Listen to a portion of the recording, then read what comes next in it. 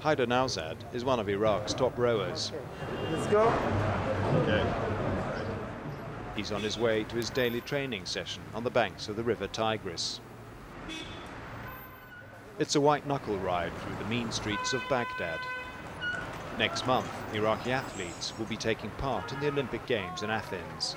Haidar has been told he stands a very good chance of being one of them. Alaa Hikmat is Iraq's number one sprinter.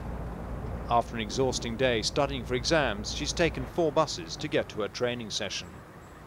32 Iraqi athletes are going to Athens this summer, and Alaa is the only woman amongst them. They're up against it more than most, training for the Olympic dream against a backdrop of chaos. Life in the city isn't easy.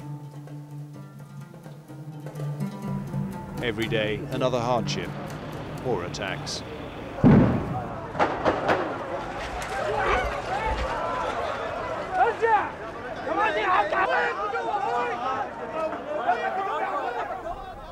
Haidar never knows what to expect when he gets down to the Tigris. He and his mates only practice on the stretch of water between 17th Bridge and Martyrs Bridge. Everywhere else is deemed just too dangerous. Today's a case in point. They're pulling a body out of the river on the opposite bank. For a sportsman training in an area like this, well, psychologically it's pretty devastating. Once I was training close to the shore and there was an explosion.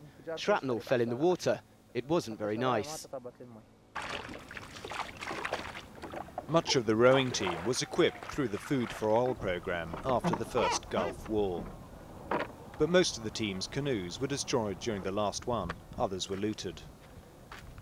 They managed to buy some of them back from criminal gangs.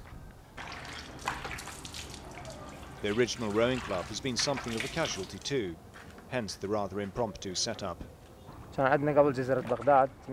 We had a proper place to train as rowers, but it was taken over by the Americans. It became a target and it's been destroyed. It'll take at least a year to put it right again.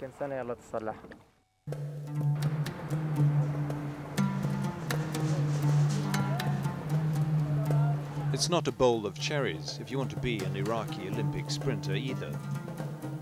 Alaa lives in a rough part of town with a brother and a mother, a retired school teacher. She has to juggle college and training, and she's realistic about her chances in the 100 and 200 metres. The simplest thing an Olympic athlete needs is time in a training camp. I have been given a month in a camp.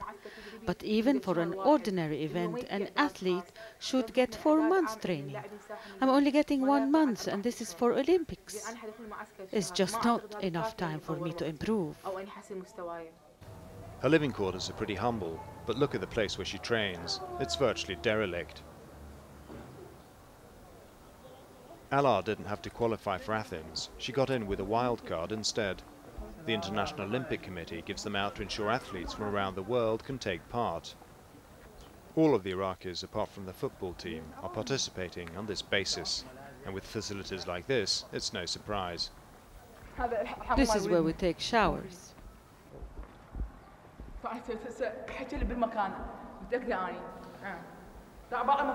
Let me show you around, guys. This is where the guests stay. Well, and here uh, we could film a horror film. And these, well, these are the toilet facilities.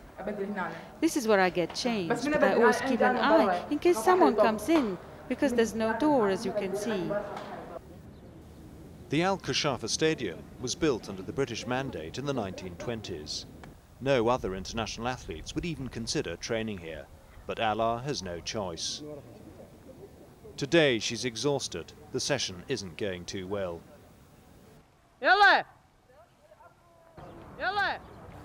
But her coach, the man who discovered her at a school competition last year, is trying to look on the bright side. My wish for Alaa is that she can get some sort of a result in Athens. But hoping for that is really beyond us. Our best running times are no match for the other international ones. The Olympics are a test for the finest athletes in the world. Haifa Street. This is where Haidar has lived with his family for 17 years. It's a scary part of town. Our driver once had to come here to buy back his own car that had just been stolen. For most people, Haifa Street is the end of the line. This is one of the reasons why going to Athens is so important for Haidar. It's his ticket out of here. He takes us up onto the roof where the family all sleep on these hot nights. This is my brother's place. This is where I sleep. This is where my other brother sleeps. And over here is where my parents and sister sleep. As one of Iraq's top rowers, Haidar's got the dedication, and he's got the medals to prove it too. In Asia, it's silver. One silver and two bronze. In India, But today, Haidar has got bad news. He's just been told he hasn't got a wild card after all. This, they went to a Filipino instead. This and this. I'm really sad that I won't be there to participate in this great festival and gain experience. But I'm happy for my colleagues. I've only just met Alaa, although I'd heard of her before. I am happy for her, but I'm sorry for myself. God willing, I'll get another chance.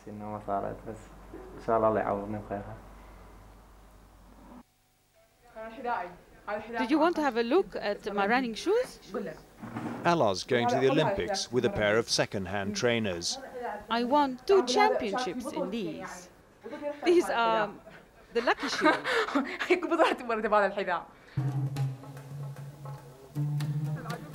Alaa's a pre-Olympic camp in Germany now. Haidar's accepted he's not going to Greece. He's back in the Tigris though, still rowing, still dreaming of success.